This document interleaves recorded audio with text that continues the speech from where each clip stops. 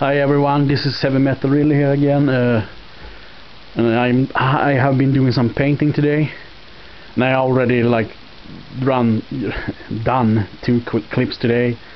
Uh, the last one was a quick update, and it was that update was about that painting that I'm working on right there. And now actually, just a few hours later, I begun with this paint. Oh my god! Okay, get them see if it stays there. Uh, I began with this painting.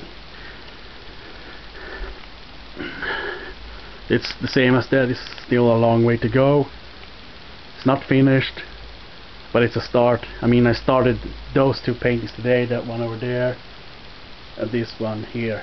So, I mean, that's pretty good. And I only been painting for like a few hours, so yeah yeah and this this is for my comic Gorelover as I said before. Yeah. Uh, that that one will be awesome when I got it in when I'm finished with it and, and I got it into the computer and like change the light and color on it so then it will look awesome.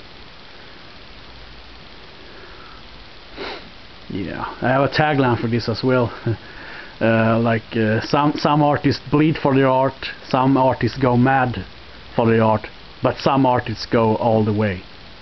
Yeah, some artists go all the way. And basically this is an artist that's going all the way for his art. Even skinning himself and cutting his eyeball out. out. Yeah.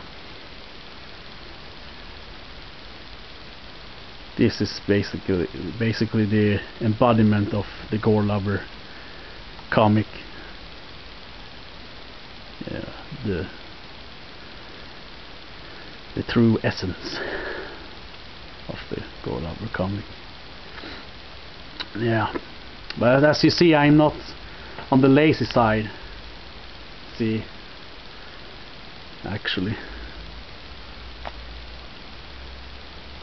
yeah, but